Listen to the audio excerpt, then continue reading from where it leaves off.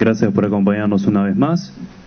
Le damos la bienvenida a esta sala y le damos la bienvenida a nuestro conferencista, el señor Álvaro Añón Echarri, gerente y fundador de Soho Chile y en su versión Uruguay también en el año 96, luego la versión Chile en 2003. Nuestro conferencista tiene más de 15 años de experiencia desarrollando proyectos de Internet, de usabilidad y software y lo vamos a dejar en uso de la palabra para que desarrolle la conferencia Sistemas centrados en el usuario. Adelante, señor Añón. ¿Qué tal? Buenas tardes, ¿se escuchan bien? ¿Sí? Eh, bueno, em, voy a, ver si me muevo por acá. Vamos a empezar la charla, eh, está entrando en, tema. Eh, me gusta poner ejemplos de la vida real y no necesariamente del mundo más informático, pese a que el primer ejemplo tiene algo de informático, ya vamos a ver. Oh. ¿Sí?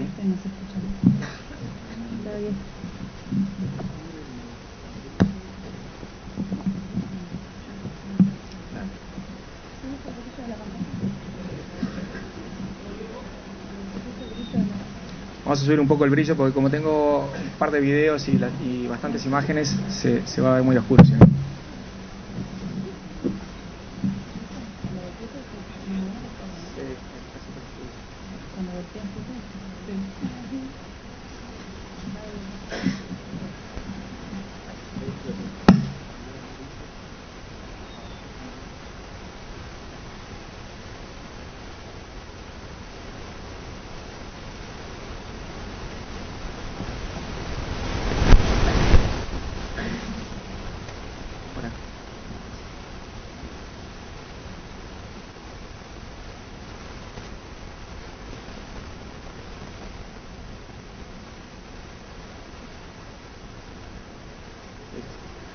Gracias.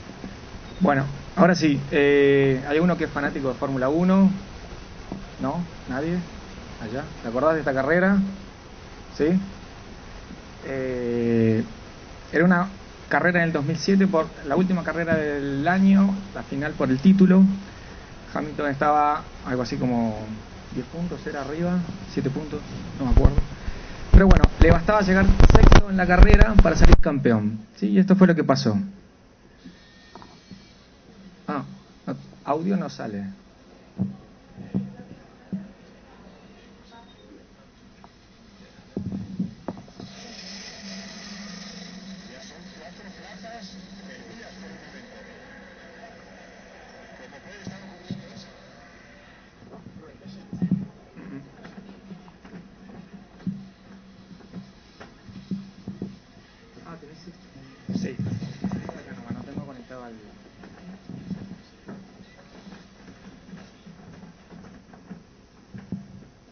Perdón por todos los contratiempos, pero ya va a salir bien.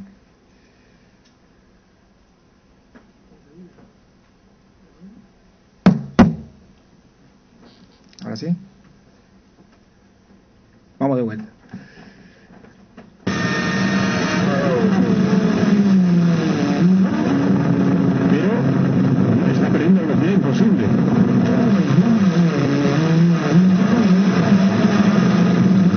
cuatro plazas perdidas por el momento. ¿Cómo puede estar ocurriendo esto? Es el peor momento posible para un problema de boxes.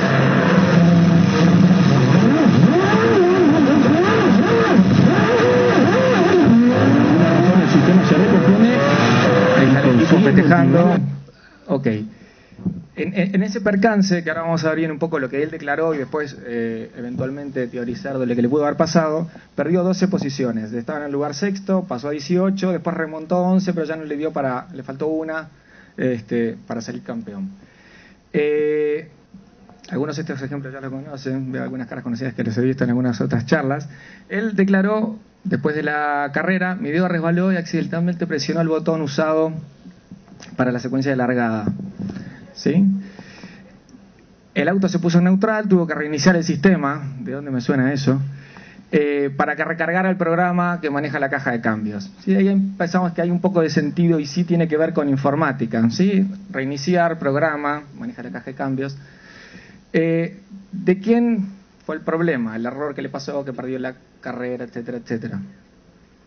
¿De, ¿Ah? ¿El diseño del volante? Bueno, eh, el fanático de la carrera. Pero ah, si escuchamos lo que dice el Hamilton y lo que tituló la prensa en su momento, error humano le cuesta el título Hamilton. Obviamente humanos estaban refiriéndose a Hamilton. ¿sí? Eh, y por lo menos él reconoció, y después los medios también así lo publicaron, que el error había sido de él que se equivocó y apretó accidentalmente determinado botón.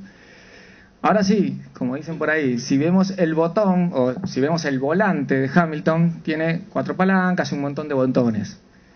Y el que el que apretó accidentalmente es ese ahí rojo, efectivamente, eh, demasiado cerca de los pulgares y demás. Vieron que cuando estaba en el video empezó a toquetear este, medio nervioso este, todo el volante y todos los botones del volante a ver qué pasaba.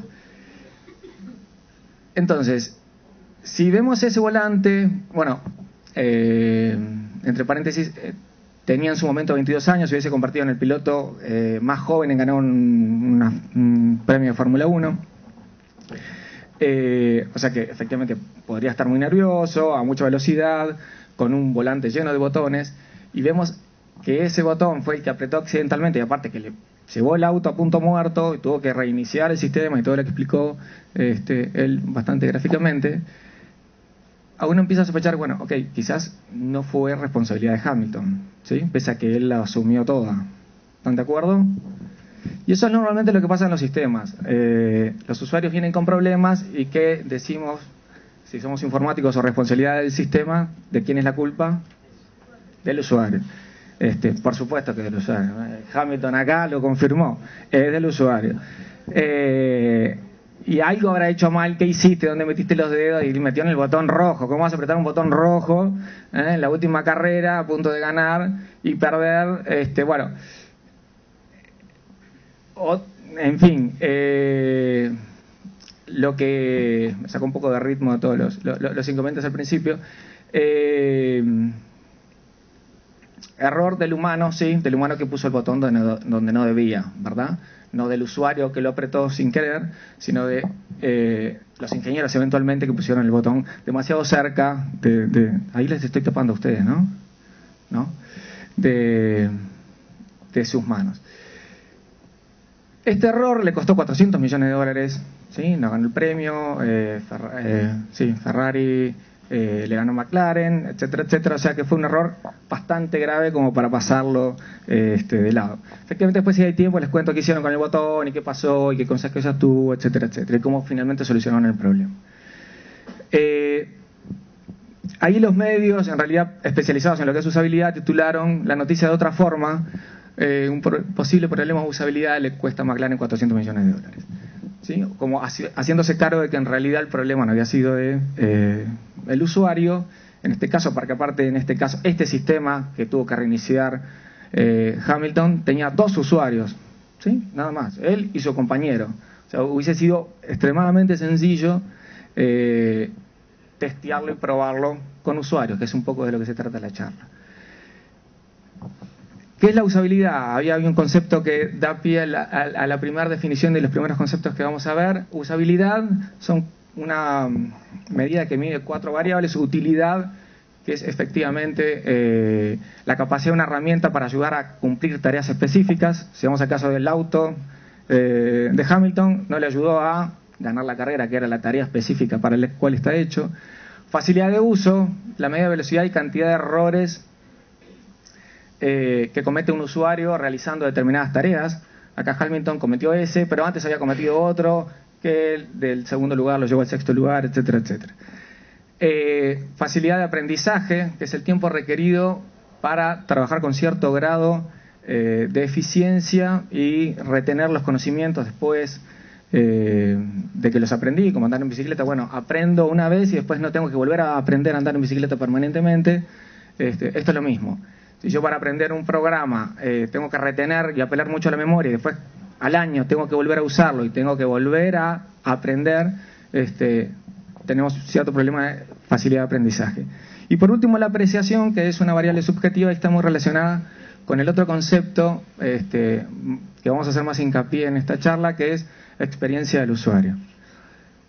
Eh, y por ahí tenemos a nuestro usuario, que tiene determinadas características. Eh, por otro lado tenemos un producto, puede ser un software, un hardware, eh, un dispositivo móvil, un kiosco, lo que fuera, que interactúa con el usuario y que también tiene sus propias características. Interactúa con el usuario a través de una interfaz gráfica. ¿sí? Estamos hablando de productos que tengan interfaz gráfica, obviamente, y usuarios que interactúen no a través de una consola, este, sino a través de eh, elementos gráficos. Eh, todo la interacción del usuario con la interfaz gráfica de mi producto sucede en un entorno. El entorno normalmente es el escritorio, eh, si es un kiosco, bueno, podrá ser una sucursal, eh, podrá eventualmente estar la intemperie, si es un cajero automático que da hacia la calle. Eh, puede ser un auto de carrera si,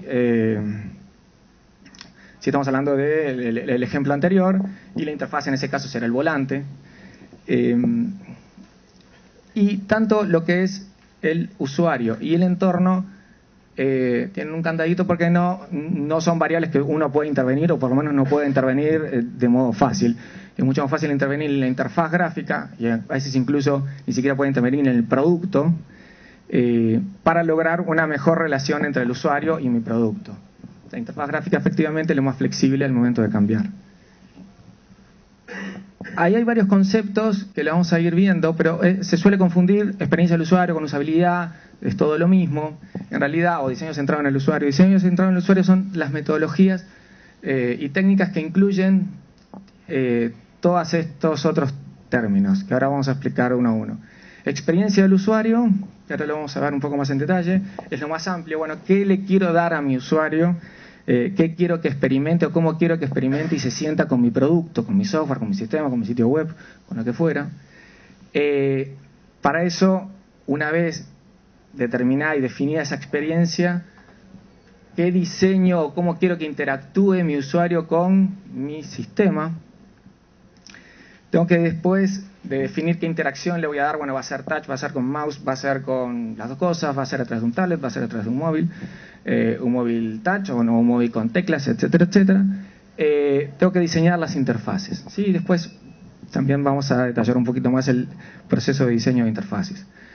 Eh, para el diseño de interfaces, ahí efectivamente entra la usabilidad, pero no es la usabilidad que me define la experiencia del usuario, sino la usabilidad está al servicio de la experiencia del usuario que yo le quiero entregar. Eh, y después, para definir la usabilidad, tengo que pensar de vuelta en el usuario, etcétera, etcétera. Es un círculo este, que idealmente lo puedo iterar varias veces para llegar al mejor resultado. Eh, hablando de experiencia del usuario, bueno, ¿qué es la experiencia del usuario y cómo le entrego una buena experiencia al usuario? Tiene que ver con las expectativas que tenga el usuario. Hamilton tenía la expectativa de ganar la carrera y salir campeón, ganar 400 millones de dólares, no sé cómo iban, 50-50 o lo que fuere, eh, pero su expectativa era esa y no lo pudo cumplir. Entonces, efectivamente, tenemos un usuario insatisfecho. ¿sí?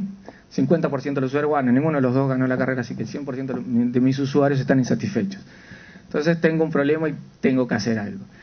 Eh, entonces, cada sistema que tenemos que plantearnos, tenemos que entender y sentir lo que siente el usuario. Muchas veces podemos estar próximo al usuario, ¿por qué? Porque es un sistema que probablemente nosotros también seamos usuarios de ese sistema, pero a veces estamos desarrollando un sistema para terceros que estamos muy lejos de ser eh, usuario final de ese sistema. Nosotros hemos diseñado sistemas para la Bolsa de Comercio de Santiago, donde el, usuario son 500 corredores de bolsa de Chile que van a usar ese sistema. Nosotros ni somos corredores de bolsa, ni nunca vamos a trabajar en la bolsa, ni tenemos los términos financieros que tiene un corredor de bolsa.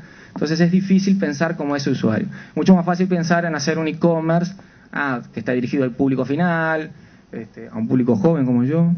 Eh, eso es mucho más fácil de generar empatía con ese usuario y entender las expectativas.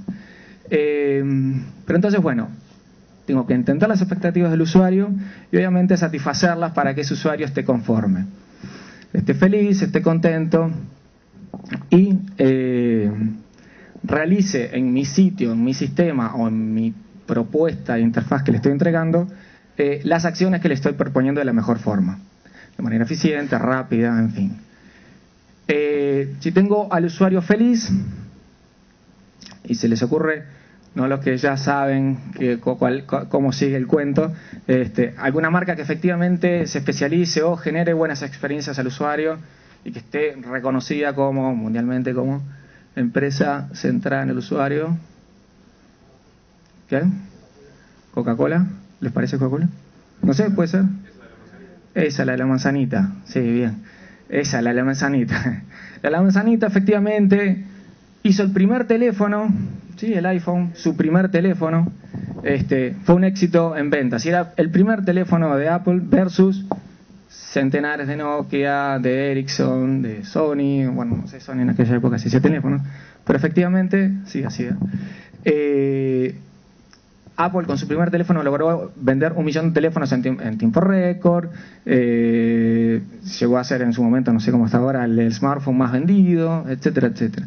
Y todo porque, o por lo menos como, como, como, como lo entiendo, porque se centró en la experiencia del usuario, entender qué es lo que quería el usuario y dárselo de una manera diferente. Generó una experiencia diferente, se definió parámetros diferentes y estándares diferentes y entregó interfaces, diseños, interacción y todo lo que sigue después bien diferente, definiendo estándares para la industria. Hoy hay miles de iPhones ¿sí? este, que son bien similares y siguen las mismas patrones de diseño. Eh, ¿Alguno que sepa algo de usabilidad o los que fueron alguna vez a algún taller, ¿sí? ¿Cómo la ven esto de diseño y en cuanto a buenas prácticas de usabilidad y demás? No estéticamente. Tiene el login, el botón este, de acción principal bien diferenciado. Si me olvido la clave, tengo forma de recuperar mi clave. Puedo solicitar una nueva clave si no tengo. Eventualmente puede ver consejos de seguridad. Estoy entrando a un banco. Entonces, en términos de usabilidad, está correcto. Tiene todo lo que debería tener un login. Si no tuviera olvidado mi clave, ahí estamos fritos, sería un pésimo login. Porque lo que pasa a todos los usuarios ¿sí? es me olvidé el login. Eh, perdón, me olvidé la clave. Este otro login, ¿cómo lo ven? De diseño, bien similar, ¿sí o no? ¿Sí? ¿Qué tiene diferente? Es más, más, ancho el, ¿ok? El ingresar no es tan claro, pero ¿qué? Es distinto, sí. ¿Qué otra cosa? ¿Qué fue lo que me gustó de este? Sí. Ok, ahí tiene el, si me olvidé el nombre de usuario, si me olvidé la contraseña, en el otro... Lo que pasa es que este es el documento, es muy difícil que me lo olvide. Si me olvido el documento estoy... Estoy en problema de memoria, por lo menos. Este, pero bueno, está bien, buen punto. Es más amigable porque el botón, ¿qué pasa con el botón? Perfecto, el botón te dice adelante estás en tu casa. Sí, este es un sitio de música para escuchar música y no dice ingresar, no es un frío ingresar como puede ser este. Me está invitando a entrar y simplemente es un cambio de texto. Ahora después vamos a ver un, un ejemplo donde también un cambio de texto puede hacer la diferencia. Es a nivel de diseño es exactamente igual que el otro, pero este me lo hace mucho más amigable y mucho más cercano. ¿sí? Después tiene un y, hace sentido con toda la experiencia que le propone este sitio al usuario. Es bien coloquial, es bien ameno, y efectivamente el login, que en su momento era aceptar, ingresar, era bien frío, se transformó en esto y dijo, a mí me sorprendió por lo menos como usuario de este sitio. Eh, ¿Cómo, perdón? Son tipos de usuarios diferentes, está bien. El ejemplo igual son bien radicales y hay veces... No, está bien, pero igual hay, bancos que te tratan de tú eh, y podría usar cierto lenguaje, pero es para el ejemplo, ¿no? Es, es, para decir, incluso en, cómo nombro las etiquetas está la experiencia que le estoy brindando o prometiendo al usuario. Ahí tiene DirecTV, ¿no? ¿Sí? El control remoto, ok, más allá de ser un buen control remoto, eh, la diferencia que tiene es que me despliega mensajes. ¿Sí? ¿Sabías? ¿Sí? ¿Dónde? ¿Dónde? atrás. Sí, te, te, habla el control remoto.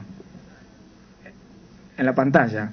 ¿sí? Y lo que me dice, no sé si otras consolas lo tienen, es por ejemplo cuando se me acaba la pila del control remoto. ¿Sí? ¿Lo, lo, vivieron esta experiencia? ¿Nunca?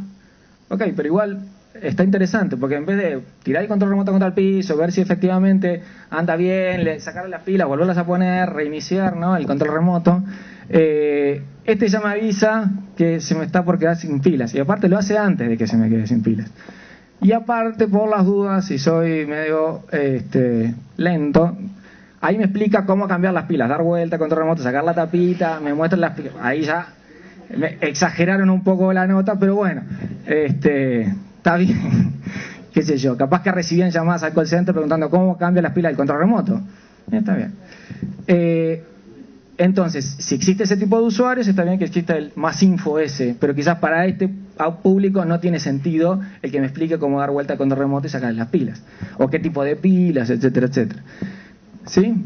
Eh, entonces, la primera vez, efectivamente yo usaba eh, otro control remoto, otra consola, etcétera, antes, acá, cuando me fui a Chile, etcétera. Cuando cambié de DirecTV me pasó eso, dije, ah, sorpresa, te voy a sacar una foto porque efectivamente me generó una experiencia, un sentimiento diferente. Ah, pucha, efectivamente están pensando en la gente que está sentada en su cama, en su sillón, viendo televisión y eventualmente se puede quedar sin pilas. Pensar como el usuario, como les decía, a veces es mucho más fácil porque todos nos sentamos delante de la tele a ver y todos nos quedamos sin pilas y todos, pucha, ¿qué pasa? ¿Será el control remoto? ¿Serán las pilas? ¿Será esto? ¿Será lo otro? Eh, pero a veces es mucho más complejo. En este caso vamos a poner dos ejemplos más sencillos. Este es un usuario que claramente está, trabajó como chino un año eh, y se quiere ir de viaje. Si entonces estás con ánimo de viaje. ¿Qué se le ocurrió? Una brillante idea, entrar a un sitio web para comprar su pasaje, no moverse de su casa, de su trabajo, etcétera, y reservar su pasaje. Lo compró, hizo la compra, perfecto, más o menos problemas, siempre tengo problemas en ese sitio. Eh, y le llega esto inmediatamente. ¿Sí? Esto sí está escrito en chino. Y ahí ya eh, la, sonrisa que tenía dibujada las dos semanas en Cancún, etcétera, etcétera, ya se le empieza a complicar y la buena idea de comprarlo por internet quizás le empieza a jugar en contra. Porque efectivamente hasta el día de hoy lo que llega en el sitio ese que estaba por ahí, en español, llega todo un texto en inglés sacado claramente sin formateo de este Amadeus, era esto. Que yo puedo entenderlo como cercano a la informática, pero un pobre usuario que compró, que no sabe ni siquiera, puede no saber inglés, recibe esto y no, esto está mal, lo borra, spam, es un virus, este, perdí el pasaje, no viajó nada, etcétera, etcétera. ¿Sí o no? Se exagera un poco la situación, pero puede pasar todo eso. Si lo compra mi, bueno, mi madre no porque soy inglés, pero si lo compra mi abuela seguramente se le complique y diga, no, acá pasó algo.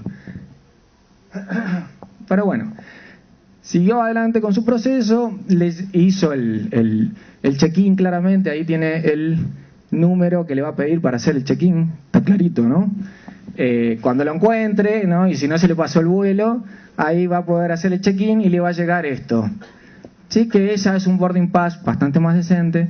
Eh, y pónganse o intenten ponerse en la situación del usuario que está viajando, que hizo el check-in, compró, este, recibe esto. ¿Cuál es uno de los datos más relevantes al momento de viajar? La hora. ¿La hora de qué? Que parte el vuelo. ¿Esa es la más importante? La hora que te que estar dónde? En el aeropuerto. ¿Y a qué hora tengo que estar en el aeropuerto? 6 y 30. ¿Están seguros o esa es la hora que tengo que estar en la puerta de embarque? A las cinco y media. ¿Eh? No sé. Este, a las cinco y media. Y bueno, por la duda llego a las 4 y me aseguro que no pierdo el vuelo. Pero la idea es que tampoco tenga que esperar. Estamos hablando de generar una experiencia al usuario lo más agradable posible. ¿eh? La salida es a las 8, está bien. Entonces, 630 está bien. Pero igual, está bien, puede ser, ¿eh? no, no, queda claro, es el punto que voy. Acá dice que tengo que estar en la puerta de embarque a confirmar a tal hora. Entonces, por ende, tengo que estar en el aeropuerto antes. Si tengo que estar en la puerta de embarque a seis y media, ¿sí? ¿Me siguen? Este, o sea, yo podría inferir que tengo que estar seis y media paradito en la puerta de embarque. Efectivamente parece, porque si uno calcula las horas y demás, este, que seis y media que llega al aeropuerto está bien. Pero ya son inferencias que no me, no me, no las deduzco de la interfaz que me está proponiendo esta experiencia de compra en un sitio web. Por suerte hay alguien que sí pensó en la hora más importante para el usuario y esa es la hora que destaca, hora de presentación en el aeropuerto y está en azul. Y las otras horas, hora de presentación en la puerta de embarque, ya es menos relevante ya estoy en el aeropuerto, se supone que no me voy a quedar en el free shop, eh, como mi suegra, que perdió el vuelo, es verdad. Eh, tuve que en fin. Eh, 11.20. Y la otra, la, la más irrelevante, la más chiquita en esa, ¿cuál es?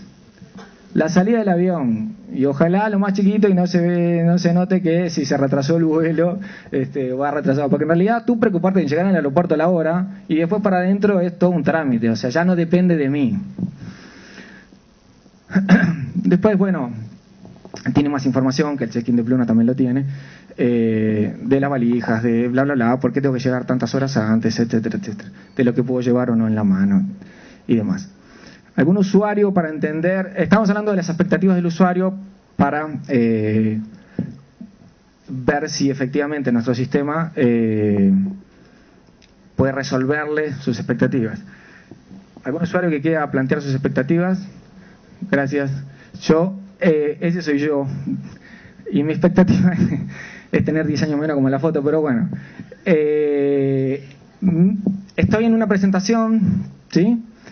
Eh, usando un sistema, un software de presentaciones.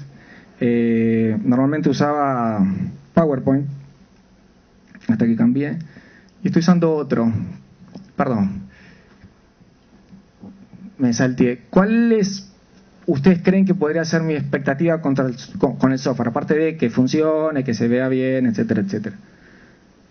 ¿Cuál puede ser mi preocupación ahora en este momento? Entenderlo. Está bien, pero acá ahora ya, estoy frito. Si no lo entendí, no pude hacer la presentación. Acá. Que funcione, ¿estamos de acuerdo? ¿Qué otra cosa?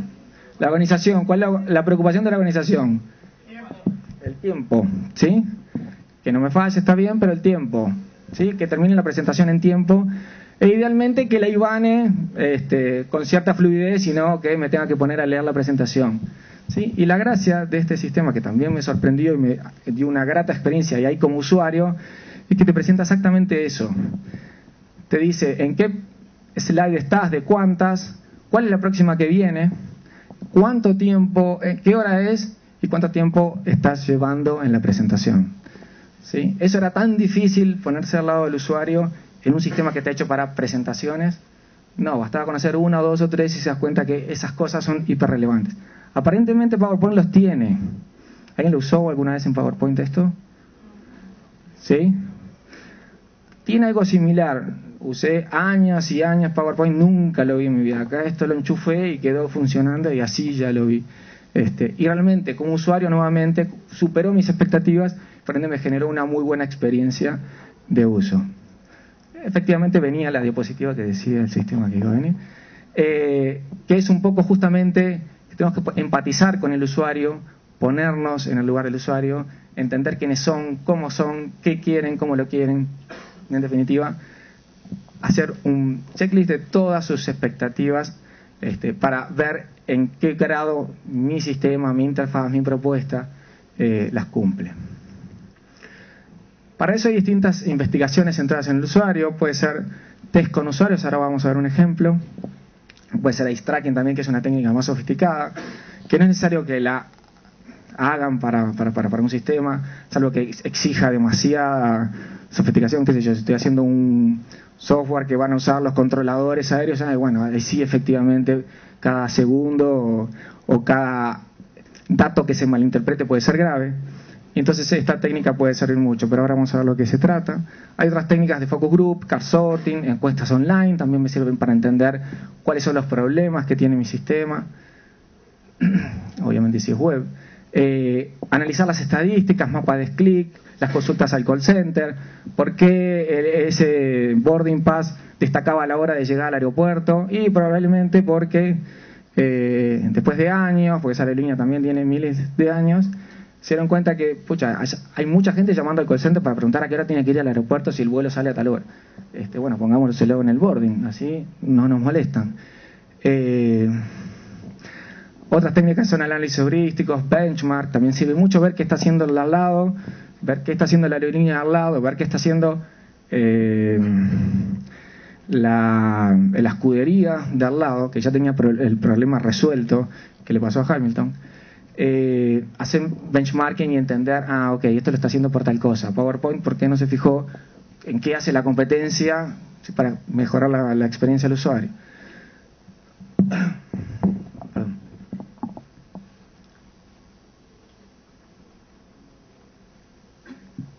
Así luce, por ejemplo, un mapa de clics, eso se le puede poner sobre cualquier log de estadísticas, se le puede montar eh, sistemas que te generan esa vista de heatmap, donde lo más intenso, lo más rojo, lo más cálido, es donde los usuarios hacen más clic, entonces puedo entender si tengo una acción relevante o alguna información relevante que me interesa que el usuario lea y haga clic, este, y está por aquí, por ejemplo, bueno, tengo problema, entonces la puedo destacar, la puedo mover, la puedo cambiar el layout para efectivamente llevarlos hacia mis objetivos, que es algo que después vamos a ver más adelante. Entonces, esto es mapa de clics. Estos son test con usuarios. Este es el típico panel de, un software Camtasia que se usa para filmar al usuario usando un sistema que por un lado se ve la cara del usuario y por otro lado se ve todo lo que va ejecutando en el sistema. Esto tenemos un ejemplo bien divertido, ya ven la cara del usuario, eh, que, la pobre... En fin, era una cliente real, esto se hace siempre con usuarios reales, eh, y esto era para Cencosud, que es una, es, una gran tienda, es el retail más grande de Chile, factura... Eh, creo que este año va a facturar 15 mil millones de dólares al año. Es un monstruo, tiene de todo, bancos, multitiendas, supermercados, lo que se les ocurra. Y tenía este, esta financiera que eh, ofrecía tarjetas de crédito para comprar en todas sus tiendas. Y estábamos testeando algo que eh, no entendían por qué no funcionaba, que era el crédito preaprobado. Le, le mandaban una correspondencia al usuario diciéndole, bueno, tienes un crédito preaprobado por 20 mil pesos, 15 mil pesos, lo que fuera, entra al sitio web y solicitalo. Esta es la información, este, lo que está destacado en rojo es lo que le estábamos pidiendo al usuario que buscara. ¿Sí? O sea que está ahí. Y se le pusimos ahí delante a propósito. Para ver qué tanto demoraba. Y era, aparte de la primera entrada, logueaba y enseguida lo que aparecía era esa página que está navegando la persona. Veamos qué pasa. Pregunta frecuente.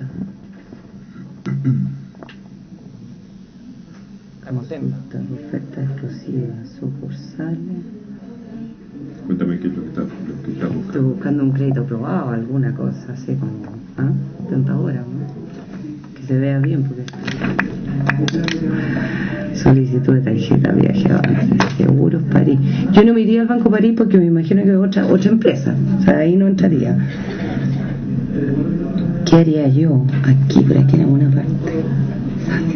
Supuestamente esta empresa es, como le decía, una financiera y su interés es vender créditos, ¿no?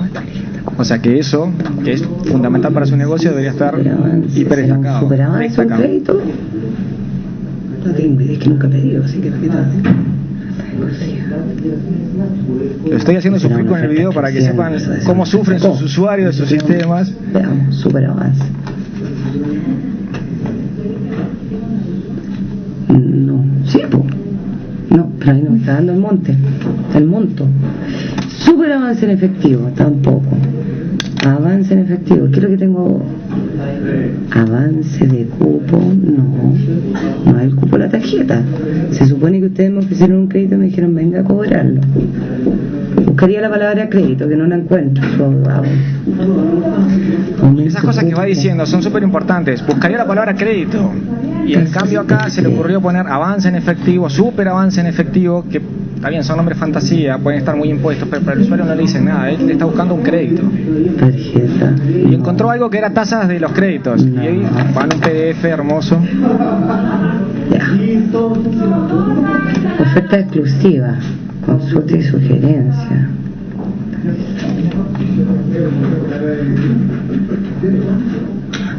Que a usted le llegó a la casa esa información que tiene un crédito aprobado y que ingresó al sitio y estaba buscando justamente eso. ¿Qué hubiese hecho en ese caso? ¿Qué, qué- qué harías en ese caso? Si me llega esto, me habría metido a la página. Esto que dices miente, algo que me dijera. Ahora, yo creo que cuando yo hubiera metido el root y hubiera entrado a la página, hubiera salido esos pericos que salen en los bancos y dicen, tienes un crédito preaprobado, ¿te fijáis? Se hubiera dado como más cueca. ¿Sí o no? ¿Tiene sentido o no lo que dice? Tiene mucho sentido. Tiene mucho sentido y tenían los, usuarios sufriendo, peleando por un crédito, eh, cuando los usuarios tenían la razón y tenían la respuesta. Pongan un cartel ¿sí? que me grite que tengo un crédito preaprobado y un botón para apretarlo y, y- y tomarlo por internet y, y se acabó el problema. Este, qué fácil cobrar, ¿no? Por, por, por sugerirle eso que aparte lo, lo sugiere el propio usuario. Eh, pero efectivamente mucho así, las respuestas a los problemas que tienen nuestros sistemas las tienen los usuarios, porque finalmente son quienes los usan. Este, por ejemplo, es el resultado efectivamente de ese sitio, no, ese sitio no, otro similar del mismo grupo. Eh, este también era un retail, venta, tipo una tipo bricolage, pero enorme, este, y tiene un sitio para venta de esos productos tipo ferretería, del hogar, en fin. Esto es, quiere decir que el 50% que se- de las tareas que nuestros usuarios se proponen hacer en nuestro sitio, en nuestro sistema, la pueden hacer. O sea, 5 de cada 10 tareas son realizadas con éxito. El otro 5, el usuario no puede, no hay forma y no hay con qué darle, no puede terminar eh, la tarea. Y la tarea puede ser tan simple como buscar un producto, buscar un ventilador. Son tareas de ese tipo, o sea, no son tareas extremadamente complejas, es un e-commerce, que tan complejo puede ser un e-commerce, comprar un producto, buscar el coste de despacho, bueno. eh, de esto se deduce a los usuarios. Si lo estás con usuarios no es necesario hacer un panel de 50 usuarios para que sea representativo. Nielsen, que es el, el- gurú de usabilidad, dice que con 5 usuarios ya es suficiente para detectar el 85%, por- el 85 de los problemas de usabilidad de un sistema. Y si tengo 10 usuarios, si tengo el tiempo y el presupuesto y etcétera, es preferible hacer 5, hacer cambios y testear los cambios con otros 5 que hacer 10 este, en la misma situación del sistema porque se empiezan a repetir los problemas. Y hay, efectivamente, hay un, esa, ese problema que tuvo esta señora, no lo tuvo esta señora eh, porque, ah, pobre, ella es lenta y no usa internet. La persona se bajaba súper bien en internet, o sea, de hecho no tuvo ningún problema en manejar el navegador, el mouse y demás. Eh, el problema era efectivamente la página y la mayoría de los usuarios no encontraron el crédito preaprobado. Entonces, ¿para qué testearlo con 10 usuarios para que dé lo mismo? Entonces, esto efectivamente es bien grave. Y nosotros cuando nos proponemos, hacemos test sobre sistemas que nosotros diseñamos, nosotros somos una empresa no que desarrolla, sino que diseña interfaces, eh, lo que nos proponemos como, como tasa de, de resultado en los test con usuarios es un 95 a 100. ¿sí? O sea que prácticamente todas las tareas que el usuario destinatario del sistema se decide hacer, efectivamente las puede hacer. Porque nuestros usuarios normalmente son web, entonces las tareas no son extremadamente complejas. Este es uno de los sitios eh, que dio esa performance bastante magra. Y si lo ven comparado con la competencia, uno es la competencia efectivamente dentro de Chile y la otra es el referente a nivel mundial de la categoría. O sea, es como el sitio que tiene las mejores prácticas incorporadas. Y si ustedes lo ven, son los tres bastante parecidos, por lo menos a simple vista. Entonces, el- el- la diferencia efectivamente de por qué uno convierte el, o eh, arroja resultados del 54% y otro eventualmente es el mejor en la categoría a nivel mundial, están los detalles, están las sutilezas, están la experiencia que me ofrece, están los nombres los botones, están cómo ubica las cosas, cuál es la interacción que me está proponiendo. Otra de las técnicas que habíamos mencionado es eye tracking. Eye tracking es, eh, ya se ha sofisticado, antes eran unos software bien, eh, hardware bien complejos que se ponían una vincha, era como bien, este, bien extraño. Eh, pero ahora ya es un monitor nomás que tiene una cámara que enfoca los ojos, que ve a dónde va, eh, a dónde va mi vista y va detectando qué voy mirando dentro de una página, un sistema y demás. Basado en estas técnicas, les voy a aportar algunas recomendaciones, pero bien rápidas, como para que entiendan que en realidad no es necesario hacer ice tracking, sino ver las conclusiones que otros han hecho de estudios con ice tracking. Por ejemplo, de la naturaleza y ubicación de los botones. Perdón, eso fue muy rápido. Sacado de este libro de eh, diseño de formularios para Internet. Por ejemplo, es un mismo formulario donde probó determinadas ubicaciones y eh, formas de botones, más, más, más que formas, colores de botones. ¿Sí? Ahí está el formulario de eh, enviar el formulario de cancelar, los dos verdes próximos. Ahí diferenció uno verde, otro gris, pero la misma ubicación. Ven cómo el ojo se va moviendo diferente eh, según simplemente cambiando el color de los botones. Ahí, bueno, separo los botones y el botón de aceptar es este y este es el botón de cancelar. Probablemente lo que me está haciendo esto, yo espero el botón de aceptar acá y como lo ponen en otro lado, voy a tener que ir y volver a ver si entiende, estaré bien, estaré apretando el botón correcto, voy y vuelvo, entonces me genera más interacciones. Ahí los centro, que también es alguna costumbre bien típica, bueno, ¿dónde le van a ponerlos centrados los botones así no molestan? No están ni en la izquierda ni en la derecha, no me la juego, van al medio. Entonces vimos, ahora después vamos a sacar las conclusiones de ese estudio de ubicación de botones, es que puedo poner los botones así, o sea, de la misma, con el mismo layout, no importa si es una acción primaria o secundaria. El problema que puedo tener es que efectivamente me puedo equivocar, me obliga a leer, ¿sí? Y si están muy próximos, eventualmente puedo querer apretar uno y se me va el mouse y aprieto el otro. Ahí pareciera que está mejor, los estoy separando, a uno le estoy cambiando el color, como uno de los ejemplos del eye tracking. Uno le pongo verde, otro le pongo gris. ¿sí? Los separo para que ya el error de puntería no exista. O eventualmente puedo no solo separarlo, sino cambiarle el layout. Uno le pongo layout de botón y al otro le pongo un, layout de link. Y eso aparentemente en el eye tracking estaba mostrando que el usuario tenía que interpretar más y por qué esto es botón y por qué esto es link. Entonces le llevaba a hacer más movimientos del ojo. Por otro lado, estaba un tema de la naturaleza. Un botón cancelar me destruye y estoy completando un formulario. Una vuelta tuvimos que analizar un formulario que el usuario se demoraba una hora en completarlo. Tenía varios pasos, pero era una hora. O sea que si ahí aprieto el botón de cancelar por error, o sea, créanme que el usuario no iba a estar muy feliz.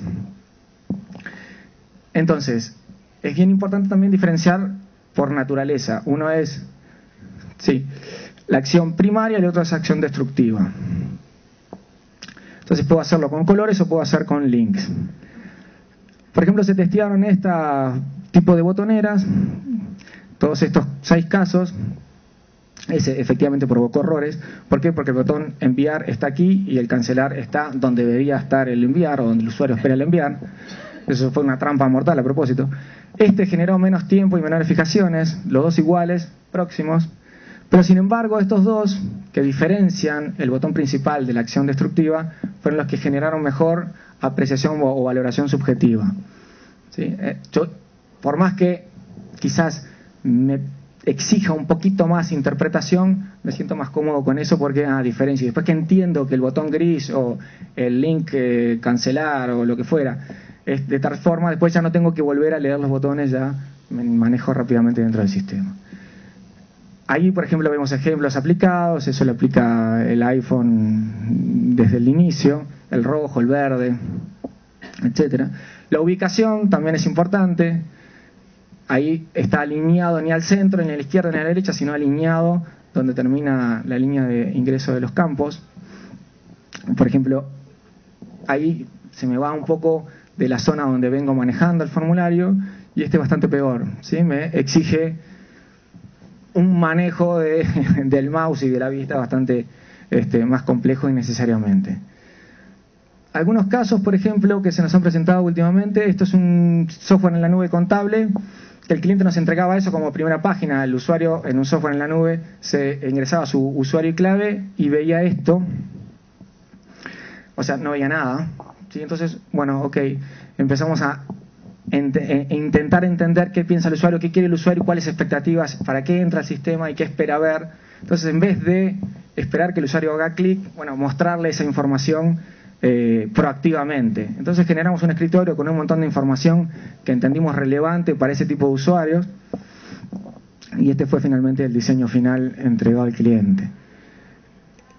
Esto es lo mismo, una extranet que querían trasladarle al cliente una operativa interna que hacía, ahora hacían sus ejecutivos. bueno, vamos a poner un sistema en la web para que el cliente se autoasista. Puede ser un trámite para un, para un organismo público. Pero si no lo hago bien, obviamente la gente igual no la voy a sacar de las sucursales, no la voy a sacar del call center y no la voy a hacer por internet. Entonces, esto era lo que presentaba como primera página. Sí, esta era la propuesta del cliente. Esto fue lo que nosotros le devolvimos a nivel de wireframes y esto fue lo que finalmente entregamos a nivel de diseño, donde hay mucha más información, destacado colores, uso de colores, acciones secundarias, primarias, etcétera. ¿Por qué centrarnos en el usuario? Si ahí tenemos dos usuarios, quizás alguno más infeliz que el otro, el que perdió 400 millones de dólares seguramente bien infeliz. Eh, ¿Por qué? Porque reduce los tiempos y costos de capacitación. Es más fácil que el usuario entienda eh, dónde están las cosas y cómo hacerlas. Disminuye los costos de soporte optimiza los costos de desarrollo. Yo no tengo que rehacer cosas porque el usuario me las rebotó, que me dijo, no, mira, en realidad lo que hiciste no me sirve, me sirve más de tal o cual forma y tengo que volver a hacer y re, desarrollar determinada parte del, sistema. Mejora la imagen y percepción de calidad. Con pequeñas cosas puedo poner muy contento al usuario. Mejora la calidad de vida de los usuarios, reduce el estrés, incrementa la satisfacción, productividad, eficiencia. Eh, disminuye el, rechazo. Hemos participado en proyectos donde el usuario ha rechazado una herramienta de software y no la usa, o la rechazó de plano, o no la usa, que es lo mismo, y si una herramienta que no la usan no sirve para nada. Aumenta la probabilidad de éxito de mi proyecto y aparte le asegura una muy, buena experiencia al usuario. Y asegurando una muy buena experiencia al usuario, es un muy buen negocio. ¿Sí? Ya lo sabe Mac, que este es el primer reproductor de MP3 del 98. Mac sacó su primer reproductor de MP3 en el 2005, o sea, siete años más tarde. Igual llegó tardísimo este, a la competencia como los celulares. Pero sacó el iPod Shuffle, que era extremadamente complejo, no tenía radio, no tenía visor, no podía pasar de una canción de la última este, a la primera, tenía que ir uno a uno como, los CDs. Era extremadamente simple, no tenía mayores comandos ni complicaciones y sin embargo, con, en seis meses logró el 58% del mercado. Lo mismo con el iPad, inventó una nueva categoría que en realidad lo inventó Bill Gates en el 2001, sacó su primer iPad, ¿sabían? El primer iPad, perdón, tablet. Eh, no funcionó. Eh, 2001 estamos hablando, o sea, 10 años antes o 8 años antes del iPad. Eh, fracasó, no le vendió a nadie, había pronosticado que en 5 años todo el mundo iba a tener un tablet, eh, le erró por 10 años, pero lo hizo la competencia. Le que permitió a Apple pasar del lugar 11, empresas más valiosas del mercado, al lugar 3, después de dos petroleras, creo, una minera, eh, lo cual siendo la empresa de tecnología mucho más importante y valiosa, casi duplicando sus ingresos. Algunos ejemplos nuestros de reducción de capacitación del 75%, aumento de las tasas de participación de proveedores, disminución de las llamadas de call center, en formularios que hemos hecho de reservas en línea de hoteles, aumento de 500% las solicitudes en los sitios. Un formulario de un banco, aumento de 70% las solicitudes de crédito en línea. Y esto es lo último. Eh, además de en centrarme en la experiencia del usuario, es importante determinadas técnicas de persuasión para asegurarme ese objetivo. Si yo veo esto, que es un cartel, de, es una puerta de un, de un garage, donde hay este cartel que dice no, no estacionar, no sé que la letra de la P se le borró un poco, salió mal en la foto. Dice, en la misma puerta, las mismas palabras, pero dice eso. ¿En cuál puerta estacionarían si es que tienen que estacionar en alguna y trancarle el garage? En la de la izquierda, no, en la derecha yo no paro ni loco. ¿Estamos de acuerdo? El de la derecha me persuade que no le estacione, de todas maneras. Si uno, tiene que optar cuál es el, El psicótico es el de la derecha, seguramente, ¿no? Mismas palabras, distintas formas de presentar la información. Efectivamente, él sabe mucho de persuabilidad, habría que preguntarle determinadas técnicas. Y este otro fue muy prolijo, ordenadito, en un renglón, pero la verdad que quizás no, no, no tan disuasivo. Entonces la persuasión nos permite sugerir al usuario una acción, facilitar el camino a la completitud, que permite completar la transacción efectivamente, proponer una siguiente acción, privilegiar lo más probable y no confundir con todas las acciones posibles. Por ejemplo, eh, estos son los últimos ejemplos. Yo estoy comprando un dominio, ¿sí? y digo, quiero agregar estos dos. Acá, ¿cuál es la acción que me está recomendando el sitio? El botón verde. ¿sí? Y el botón verde en realidad me está diciendo que agrego, sí estoy de acuerdo en agregar estos tres. ¿sí? Y en realidad yo no quería agregar esos tres, quería comprar el, el, dominio que había elegido inicialmente. El botón, digamos, que me lleva a la transacción normal es no gracias, voy a seguir con mi compra normal. Pero es muy probable que muchos aprieten el verde ¿sí? y terminen comprando más de lo que estaban dispuestos. Acá es un ejemplo que hicimos nosotros, donde simula un crédito y el crédito, idealmente, el cliente quería que fuera con con un seguro, que era optativo, yo podía no incluir el seguro, pero si yo apretaba no incluir el seguro, me explicaba las implicancias de eso, que eran que mis hijos y mi esposa y toda mi familia y mis nietos iban a heredar mi maldita deuda si yo me moría. ¿Sí? Entonces, efectivamente, eso era bastante disuasivo y todo el mundo que contrataba por internet contrataba el seguro. Acá es el último ejemplo. Yo podía contratar o renovar este servicio de Chile Proveedores por un año o por seis meses. El objetivo del cliente es que renovaran por un año, obviamente, el plazo más largo. Entonces, inicialmente este formulario que lo habíamos hecho nosotros también presentaba inocentemente un año y dos meses eh, y seis meses, perdón, con la misma relevancia. Nos pusimos un poco más agresivos y el rediseño que le hicimos eran 12 meses y 6 meses está por ahí chiquito. Y aparte dice solo 6 meses. Entonces efectivamente eso tiene también impacto en que la gente renueva por 12 meses y no por 6 meses. Eh, y este es el último. Eh, es un sitio para que vean que no solo esto se puede usar para temas transaccionales, sino para eh, fines sin fines de lucro, una ONG que patrocina un niño. Yo presiono el botón verde, que está marcado diferente al resto de los botones del sitio. Ven que tengo acá un montón de navegación e información. Me voy a una página donde no tengo ninguna navegación del sitio porque este sitio está hecho para, el objetivo es patrocinar, entonces ya lo tengo ahí, no le ofrezco ningún otro link, ninguna otra información. Eh, y tengo un patrocinio por 11, 15 y otra cantidad. El de 15 fue invento nuestro, ellos tenían 11 y otra cantidad, todos los usuarios por perezosos eran 11. Este, cuando nosotros le pusimos 15 en el medio, la mayoría de los usuarios por perezoso patrocinaban por 15. Sí, es, así un poco, y esto ya ahora sí redondeo, eh, cómo uno puede darle a un usuario una buena experiencia y a su vez persuadirlo de hacer finalmente lo que uno quiere como dueño del sistema, del sitio y demás.